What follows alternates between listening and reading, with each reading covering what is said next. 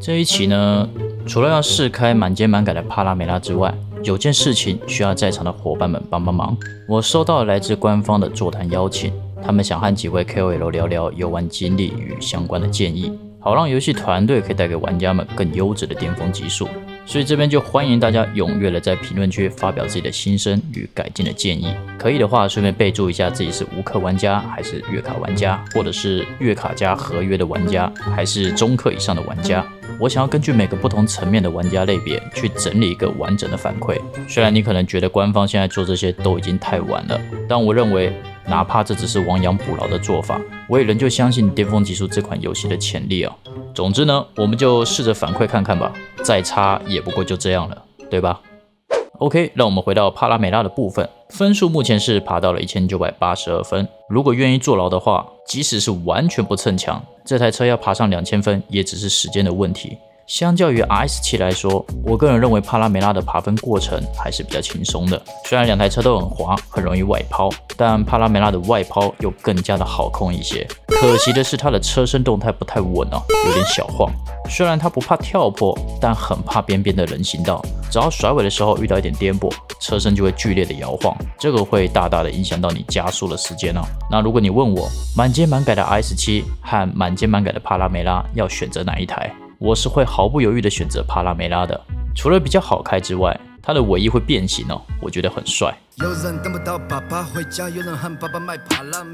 然后歌也很好听。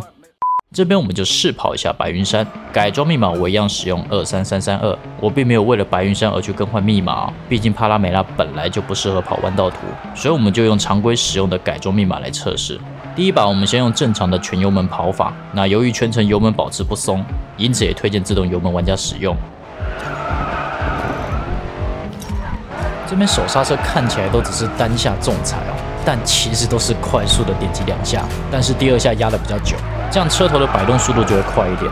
帕拉梅拉过弯的诀窍就是让它红，然后利用四驱的推头特性，等它自己回正。但如果你角度打太大的话，就需要点几下反方向键，让它早点回正，但又不能点太多反方向，否则会滑个不停哦。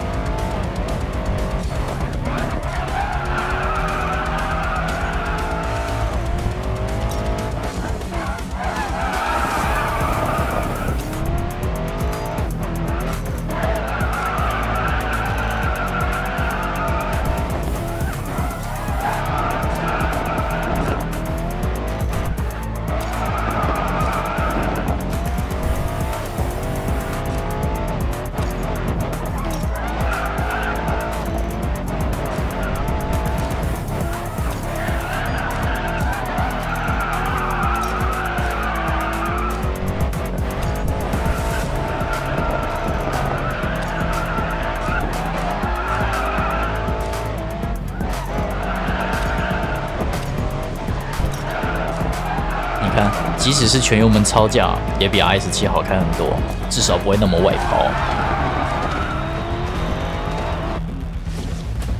最后成绩是一分四十四点六一六。那再来第二把，我就改用和 r s 7那一期一样的手法，就是甩尾的时候会加入一个重新踩油门的动作。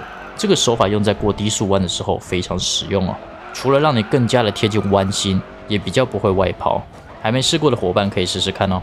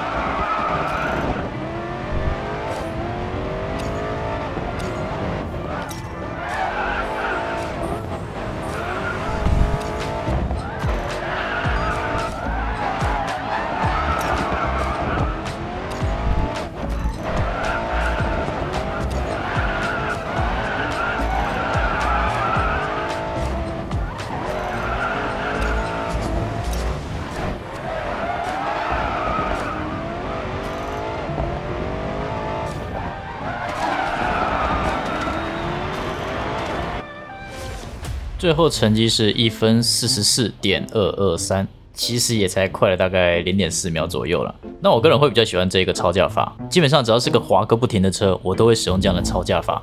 就是除了双刹之外，再结合重新踩油门的技巧，绝对可以让你轻松驾驭任何一台容易外抛的车哦。那么本期就到这边结束啦。开头的那个请求，再请伙伴们帮帮忙。我是真心喜欢这款游戏的哦，希望我们可以一起努力，让巅峰技术变得更好。我是水的，感谢大家的收看，我们下期见，拜拜。